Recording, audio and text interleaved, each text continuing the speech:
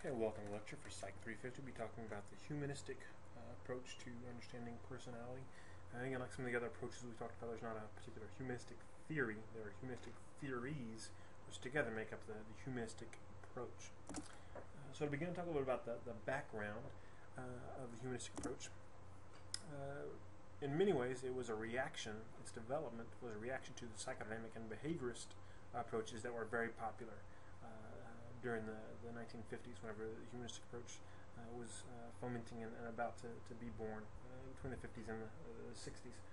Um, and it was born because people were uncomfortable with uh, the kind of the deterministic, pessimistic view of humanity that um, uh, kind of Freudian and neo-Freudian uh, theorists took, and also the, the behaviorists, you know, Watson and Skinner, um, think about that whatever we do is merely a balance of responses to certain stimuli. You know, what we're going to do, do can be entirely predicted based on rewards and punishments. And some people just felt like, you know, that doesn't explain me, and that doesn't that may explain dogs and rats, but it doesn't apply to humans, uh, and that we're somehow uh, different uh, and special. Uh, so, in many ways, uh, a reaction uh, to those approaches to understanding personality, and it grew out of two schools of thought in terms of philosophy, one being existentialism, existentialism uh, people like Soren Kierkegaard, uh, which the existentialists uh, were into uh, examining the meaning of human experience. You know, many of them looking at the purpose of life, why are we here, kind of questions, and that can kind of be seen. That flavor of that can definitely be seen in, in a lot of the humanist theories. Uh, and then also the other school of thought from philosophy that influenced the humanistic approach to personality would be phenomenology people like uh, Jean-Paul Sartre and uh, Edmund Husserl. Uh, these people who are attempting to understand and describe the present experiences of an individual. So the phenomenon around them and all the things that people are aware of and that are going on in their uh, awareness. And, and, and, many of the phenomenologists uh, were using uh, mathematics to do this, which is kind of interesting basis for, for uh, psychological theories. Uh, so, out of uh, these schools of thought, of, of, philosophy, and in reaction to uh, the prevailing ways of viewing humanity, uh, came this, this third force, right, the humanistic psychology. and although, like I said before, there's not one single unified humanistic theory, the theories in general shared some common tenets and common foci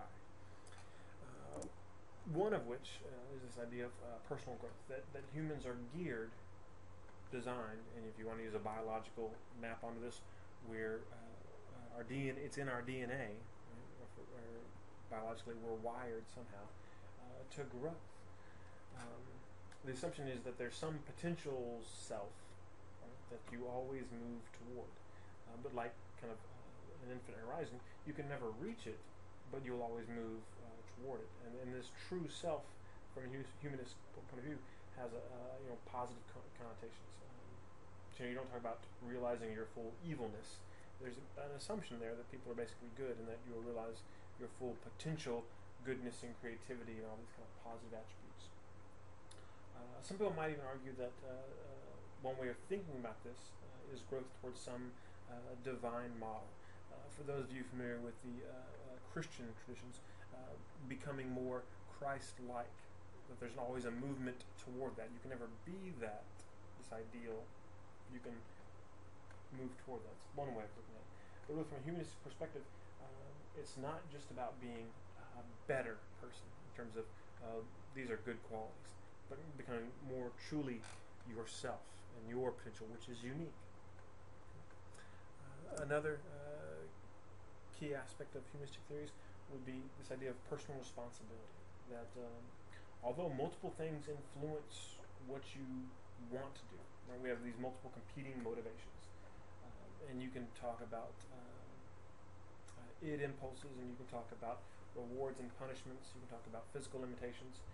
But the, the focus for humanists was regardless of all these motivations and usually competing motivations, ultimately, you choose what you do.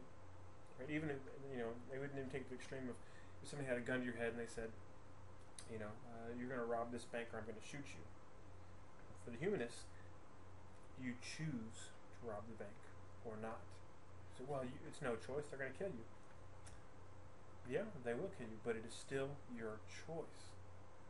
And if you, as long as you take responsibility for your choice, that's kind of the ultimate thing uh, for humans. It's not what choice you make, but that you take responsibility for it, and to accept that um, you know your behavior isn't determined by unconscious, fully determined uh, by unconscious desires or by rewards and punishments, but by free will, your own choice. Um, related to that, this idea of uh, emphasis the importance of the here and now. Uh, really, two things with this. One, that happiness comes from living in the moment. So that's one aspect of the importance of the here and now. Uh, living in the here and now for today, and not living for some future better life. Living, appreciating the things that are now is going to be lead you to happiness. And the other thing is that um, uh, your antecedents, your past, doesn't don't determine your future.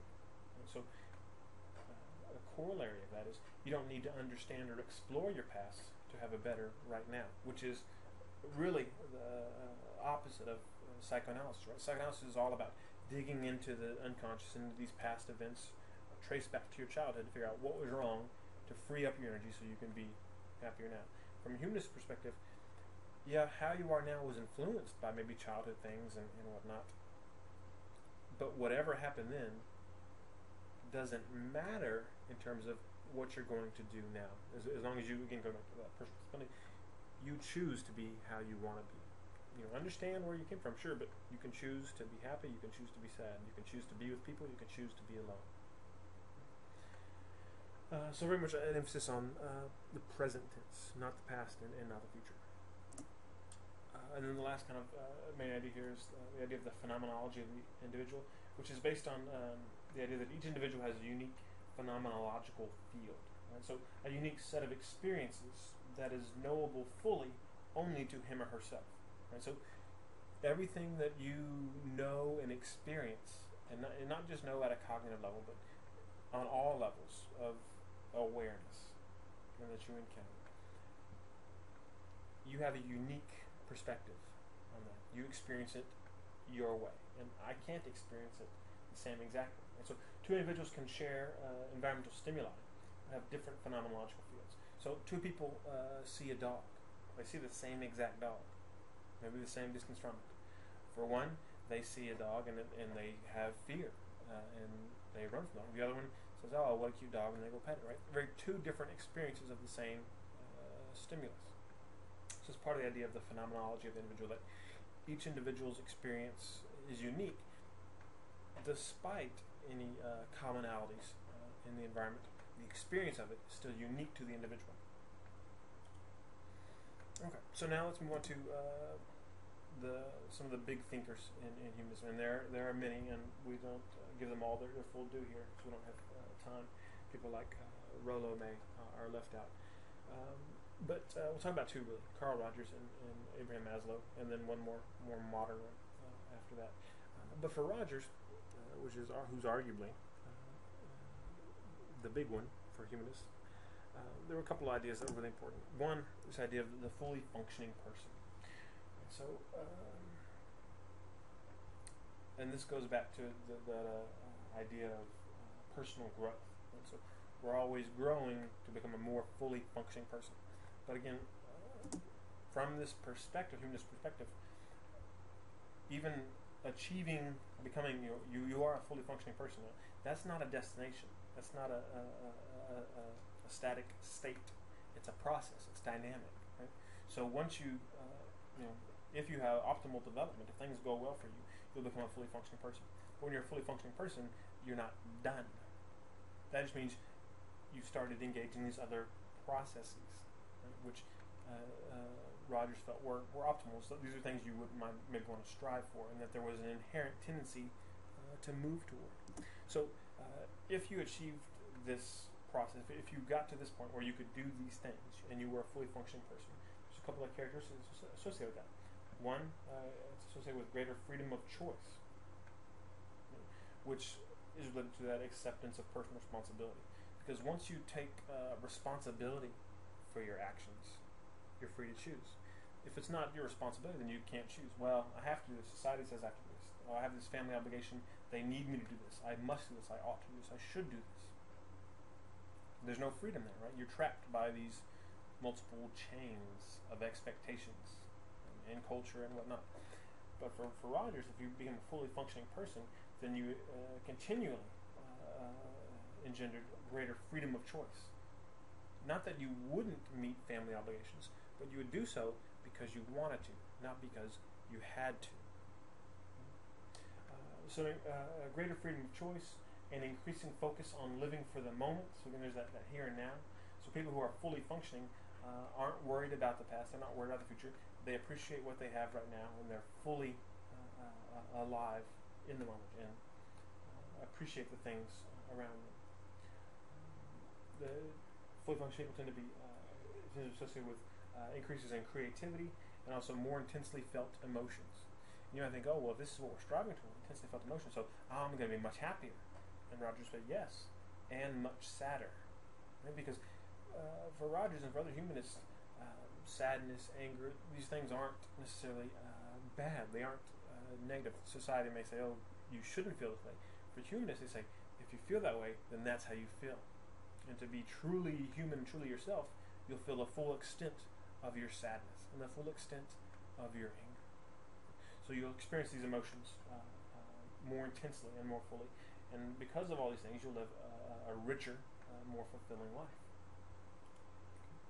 So we're all growing toward this uh, uh, becoming becoming more of a fully functioning person.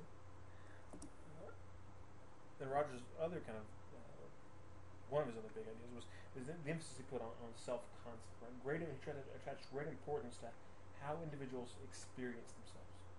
And notice I didn't, I didn't say how people uh, thought about themselves, how they experience themselves, which includes how you think about yourself. How you experience yourself is more than just thoughts. Right? There's the, there's an affective component uh, to it as well. Uh, so the way that you experience yourself is your self uh, concept. And we all have uh, and it gets a bit Freudian here, even at, at this kind of this un, at an unconscious level, you see yourself in a certain way. You kind of think of this as being your ego. Your ego is organized around certain principles that this is who I am, and you may or may not be fully aware of, of what your self concept is. But whenever you're out in the world, the world will treat you in a certain way, right? And that, in the way the world treats you, in the way you engage the world, relates to your phenomenological field the way the world treats you and the way you experience the world isn't always consistent with your self concept. And if that incongruity between experience and self concept is threatening, again at an unconscious level, then the result is the experience of anxiety. Which, again, kind of a little similar to Freud here. Uh, Rogers talking about you would deal with that anxiety via defense mechanisms, right? So, mostly denial uh, and distortion. Oh, they didn't say that, uh, it, it, wasn't like that, or uh, distortion. Distortion of the environment environmental input, sorry, or distortion of the self. Well, maybe I'm not really the way I, I think I am. Maybe I am how they see me. Um, and these uh, these defenses work, right, in terms of reducing anxiety, but they do so at the cost of uh, uh, of taking away the authenticity of your life. You're no longer leading an authentic experience of the world. It's a distorted when you do that, you're moving away from being fully functional. But people can function and they can work. Right? They keep the anxiety low. They're not fully functioning, but they're functioning through life, unless that uh, uh, the disconnect, the gap between how we see ourselves uh, and the information we're getting from the world is too great. It overwhelms the defenses. Uh, then we experience uh, what Rogers would term disorganization. Right? So uh, at this point, um, you experience extreme anxiety. And, disorganization is probably how uh, some humanists would explain the more severe pathology of developing a disorder. So everybody experiences some level of anxiety, but we deal with it with defenses and it changes our behavior. But if it gets too great, we experience disorganization, and then our defenses fail, and we come up with these other things, possibly uh, depression, uh, panic attacks, uh, arguably schizophrenia from one perspective. Um, so disorganization would be associated with uh, your more severe pathology. So what about these uh, uh, incongruous experiences? Where do they come from? Well, Rogers talked about some of these incongruous, incongruent uh, uh, experiences early in life and term them conditions of worth. The idea being that when you're young, around your parents, if you act in a way, if you demonstrate attitudes and behaviors that are pleasing to the parents, then they will be loving towards you. And whenever you demonstrate attitudes and behaviors that are not pleasing to them, they will withdraw their love. And so uh, a child learns that uh, love and esteem and worth or value are conditional. Out of very think about the, the child's mind. You know, as adult you go, no, they still love you. They're trying to teach you a lesson. But a, for a child, think about that experience about wow. When when I'm bad, they're very angry and they don't love me. When I do these things, they're happy and they love me. Okay? So that idea that they begin to think that uh, love and their own worth is conditional, conditional upon being a certain way, and so they'll deny uh, and distort aspects of themselves in order to get the love uh, and worth.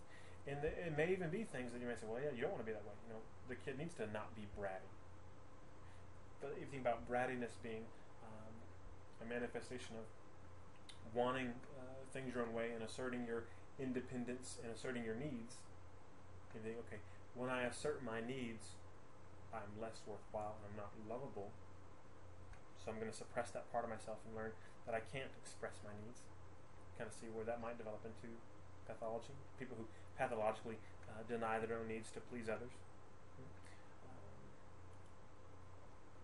so again, the idea that uh, to deal with the anxiety, we distort ourselves to meet these conditions of worth or not, and that that eventually leads to leading an inauthentic life and leads to uh, ongoing problems throughout the life.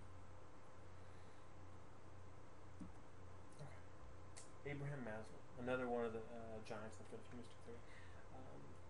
Most well known, obviously, for uh, his hierarchy of needs, okay? uh, which that you know human, human behavior was multiply influenced, but these influences could be arranged in a, in a hierarchy.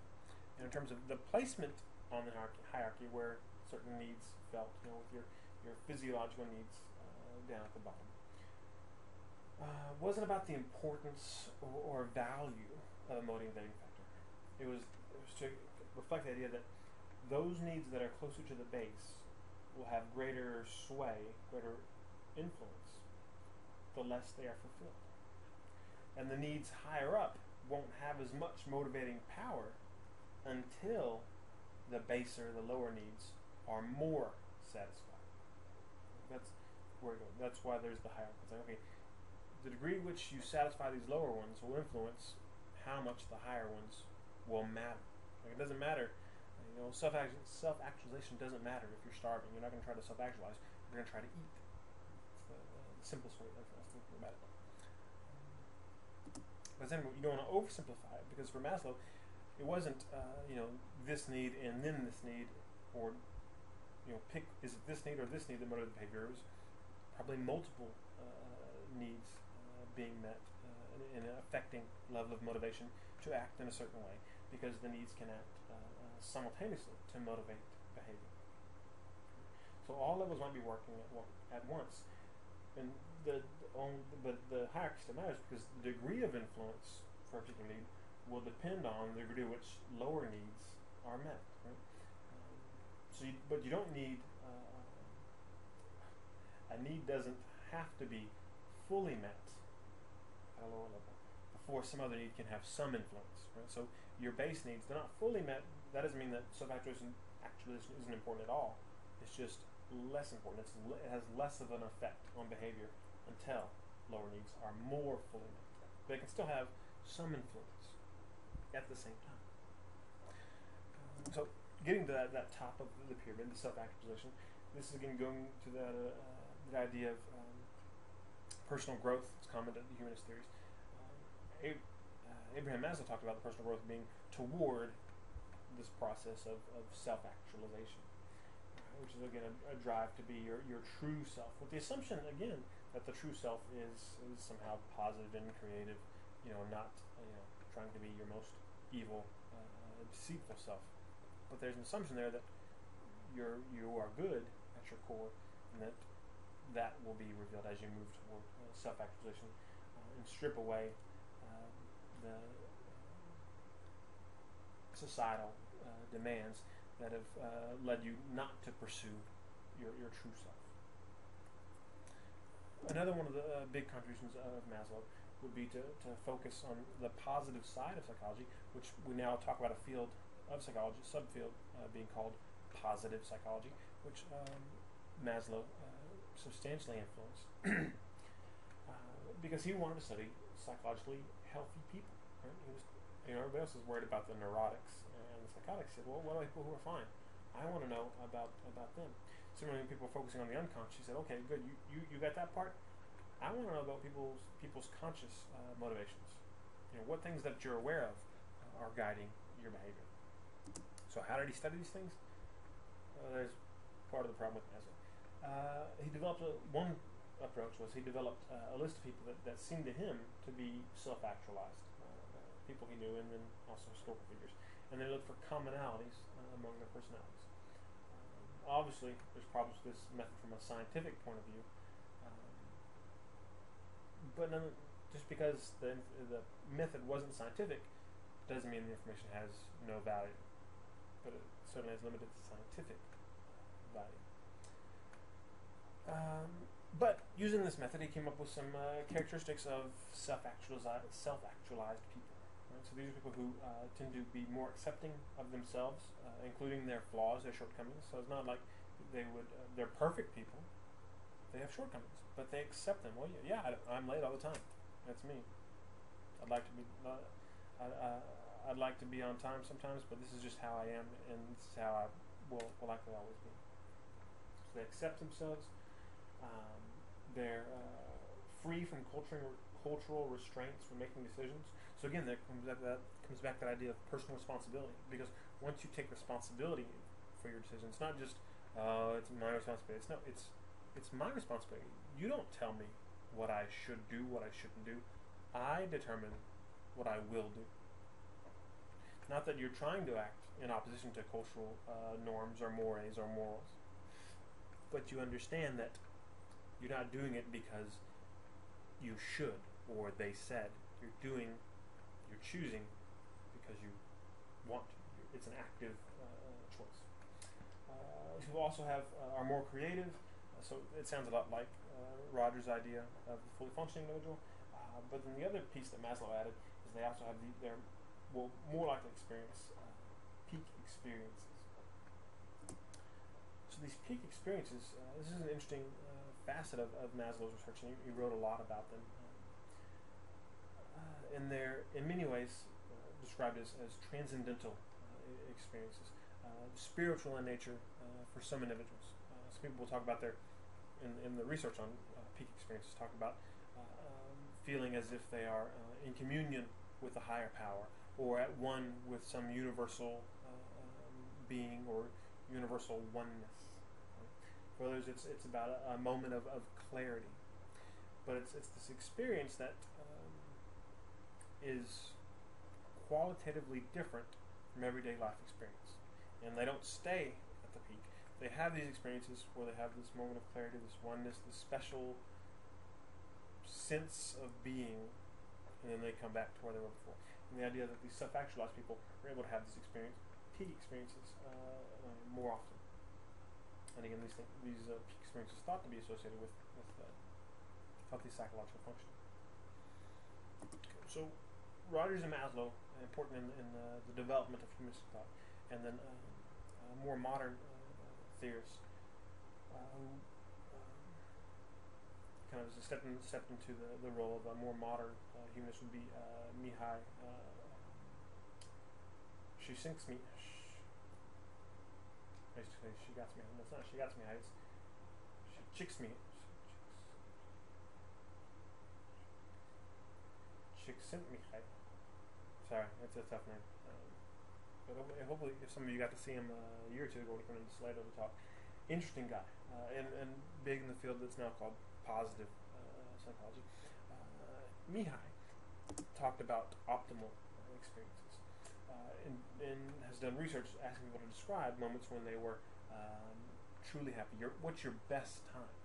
And from that kind of qualitative approach, he found these commonalities. Identify these experiences, these optimal experiences that uh, some people term flow. You experience flow. These are experiences that involve a sense of uh, high energy, intense concentration. So it's not just relaxing, feeling good. You know, you're not uh, laying out by the pool drinking your um, your Cuba Libre or whatever.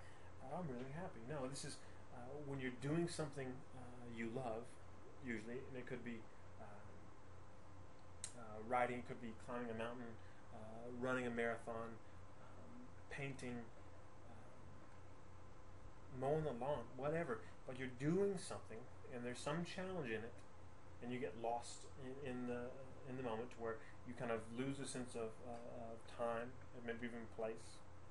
Where people, somebody you know taps you, so you you startled out of your your reverie. Um, but that um, these are the experiences that uh, we want to strive toward and that um, make life uh, worthwhile. And so he's done research looking at how people can uh, experience the, these optimal experiences, these uh, senses of, of flow. And uh, contrary to the opinion of some, more likely to have these optimal experiences uh, in the workplace than when at play. Uh, because there, to get the optimal experience, there has to be some challenge. And some people choose play experiences that involve challenge. You know, marathoners are a good example of that. If you're like myself, you sit on the couch and watch TV, which doesn't involve much challenge. Um, and we think of work often as being, oh, the drudgery and oh, I don't want to do it, so boring. It all depends on your uh, approach. Thinking back to stuff we've looked at before, someone with a mastery goal right, versus a performance goal is more likely to have uh, optimal experience, more likely to experience flow. If you go in uh, with the idea of I want to get better at this and, and see the best that I can do, then you've got a chance of getting these, these experience of flow if you go and say, "Oh, I want to see if I can get the high score," probably not going to get that uh, that experience. It's a, uh, a lot of it's about the approach. Uh, and related to that, uh, Mihaly argues that um, you can get these experiences uh, in everyday life, in in anything you're doing, mowing the lawn, playing with kids, whatever. The, the, the, important thing is taking responsibility for finding happiness and meaning in your life. Finding the things that you find uh, meaningful and relevant, relevant and fulfilling, and then engaging in them fully, being in the here and now with them, not just going through the motions. Uh, of the routine that you're maybe supposed to follow or used to following, but really be in there in that moment, and you can get these optimal experiences, which he felt were again related to healthy psychological function. In terms of uh, applications of uh, humanistic theory, the main one, from my point of view as a, as a therapist, and the support one would be um, you know, Rogers' development of, of person-centered, uh, person-centered or client-centered therapy. Uh, a couple things about this approach to therapy. Uh, one, the client uh, is the expert on the client, which goes back to the idea of the individual phenomenology, because uh, there's an assumption here that the client knows herself, himself better than you ever could. Whereas for Freud, you can say, well, the client can't know him or herself because it's all unconscious, and I've got to sift through this unconscious and find the things as the expert. In many ways, person-centered was a reaction that saying, no, no, no. The person has access to all their conscious and all their unconscious. They know themselves, and all you all your job as the therapist is to help them see themselves, be a reflection for them to gain uh, understanding and insight, because they're the ones that, that hold the key related to that, they're responsible for change. And so you're not going in as a therapist to, to fix someone, to cure someone. You're going in as a as an accomplice, as an aid, uh, to help them in their endeavor to change, to to experience growth. You're not going to grow them, but you're there to, to help them grow. But they have to do it. And that makes a world of difference from the client perspective and from the therapist uh, perspective. So they're the expert. They're responsible for change, and what the therapist uh, does is provide uh, an environment that supports change and growth. So that environment involves uh, three three key ingredients. One, uh, unconditional positive regard. Um, so this is the idea related to kind of acceptance, where whatever they tell you, you're going to uh, give them this unconditional positive regard. It's not like, okay, I'm going to uh, like you and talk to you if you talk about these things, but if you say, talk about this, uh, I can't handle that, I'm not going to uh, be around you. And it doesn't mean you have to sanction things. That, so if you're working with somebody uh, who says, uh, yeah, I get really angry and, and I hit my wife, you don't have to say, yeah, I can see how you want to do that. She probably deserved it. Or you don't have to say, yeah, that's good. You say, well, that's that's really uh, that's an unacceptable behavior. But the unconditional positive regard part of it is that I know you as a person want to be uh, a better uh, husband. I know you don't want to hurt anybody. I know it's got to be tearing you up inside that uh, that you did this. I don't hate you. I don't uh, devalue you as a person because of your behaviors. Your worth is not related to your actions, which is a really foreign idea for a lot of people. Uh, both in terms of, uh, but you know, if I've done these bad things, I'm a bad person, and on the other end, but I'm a good person. I've done all these good things. Uh, in, in humanists, which in some ways mirrors uh, some uh, spiritual beliefs, sorry, uh, organized religious beliefs, that your actions are irrelevant in terms of your worth. You have an innate worth that you cannot diminish or augment by what you do. And that's what the therapist has unconditional positive regard for is that worth. Not for your actions, but your worth is always going to be valued, regardless of what you do, and it cannot be diminished. Um, in doing that, one of the main uh, things you do is uh, providing empathy. And empathy is not the same thing as sympathy. Right? Sympathy is, oh, I feel really bad for you. That, that's got to suck. Empathy is actively trying to understand how they're feeling, and not uh, uh, not just that, because I mean, in some ways that's the definition of empathy. I understand what you're feeling, but therapeutically, uh, and for uh, person-centered therapy, empathy involves an active trying to understand and communicating that you're trying to understand. It's not so much that you have to understand exactly, but you have to try and you have to communicate the effort, and that's what seems to uh, uh, matter to people that you're trying to understand them and trying to uh, feel what they feel. but at the same time, recognize that you can never fully understand or feel what they feel. But you, you, you wouldn't hear a humanistic therapist say, uh, um, I know exactly how you feel. You'll never hear a humanistic therapist uh, say that. Because, again, we go back to that individual phenomenology. I can never know how you feel. I can only imagine how horrible that must be or I can only imagine how happy your, your joy must have been when you heard that. You know, so it's not all negative. positive too. Trying to, I'm trying to communicate to, communicate to you that I am, with all my present awareness, trying to understand your feeling and your experiences. And that's a unique experience for people. You don't get that a lot, and it can be uh, a transformative experience for people. And the, the third uh, final component of person-centered therapy would be genuineness uh, on the part of the therapist. Uh, so not um, uh, playing the role of a therapist, uh, not sitting back going, mm-hmm, yes, I see, mm, interesting. Being a genuine person in that room, right? which there's a tendency um, for a lot of help givers to adopt a role and play a role to a certain extent because it's protective because especially if you're dam- if you're dealing with damaged people you you may be afraid of being damaged yourself by them so I'm not going to be my real self in this in, in, this room with this person because I might get hurt. So I'm going to play this role of this helpful, caring person. And I really am helpful and caring, but I'm not going to be my full self. To do person therapy, you have to be your genuine self, which means if they do something that uh, um, angers you, talking about that. Well, but you have to have a positive regard. Yeah, you do, and you have to be genuine, and that's where these things. Uh, you can see the, the the difficulty. This isn't maybe as simple as it first sounds if you th- if the client angers you, you have to communicate your anger while still accepting their value as a person. I didn't say, "Wow, when you said that, I really felt uh, you know my stomach tightened uh, in uh, my uh, I feel my fists clenching." You know, when you use that word to describe that group of people, uh, it really it really bothered me, and I just have to share that with you. That's being genuine, having kind of the courage to, to self disclose uh, those reactions appropriately it's an important part of uh, person therapist, person-centered therapy. The idea being that people then who experience this, they experience someone who's with them, being a, a real person, a real person who's interested in how I'm feeling and trying actively to understand me.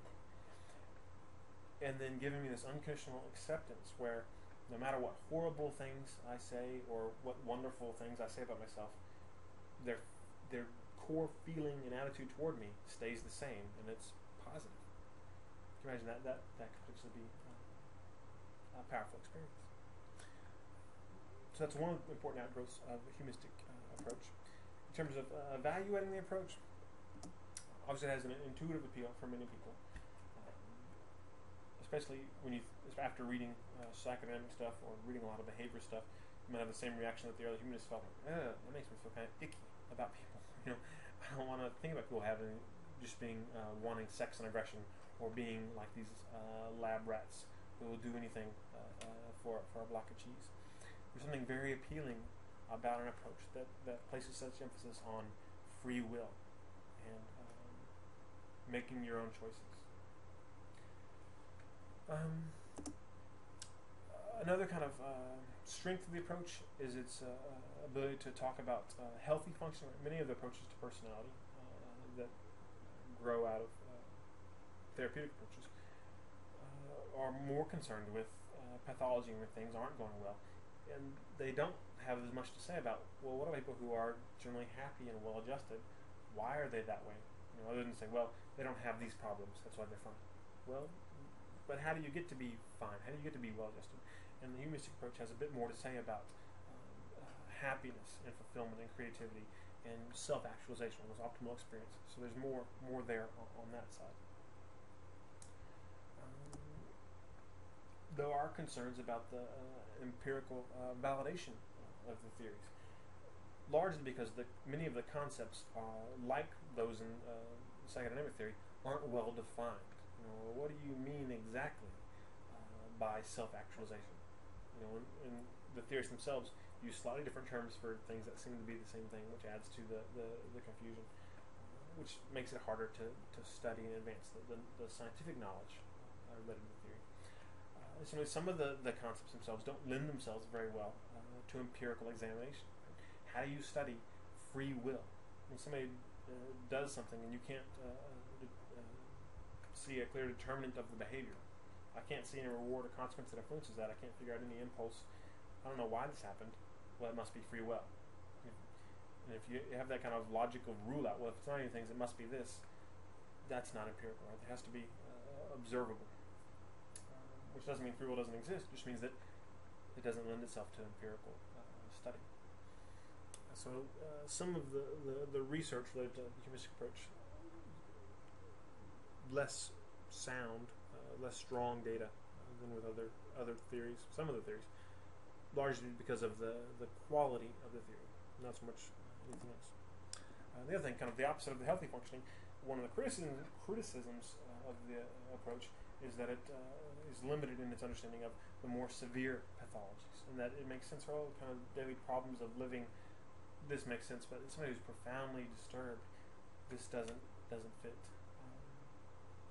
and I think there's uh, some credence to that. Uh, but at the same time, there are those instances, instances where uh, using the principles of humanistic the, uh, uh, theory, working with really disturbed individuals, you can see some profound changes. And uh, from a humanist point of view, severe pathology is related to severe disruptions of the self concept really kind of pathological environmental inputs where somebody's self concept was severely threatened by uh, inputs, by negative events. And you can think of uh, these more severe pathologies being what happens whenever the regular defense mechanisms uh, break down and the personality becomes disorganized. nonetheless, uh, I think the, the, the criticism is somewhat valid in terms of the humanistic approach does a better job of explaining those everyday problems of living than they do explaining severe pathology. Okay, uh, that's it for now. Take care.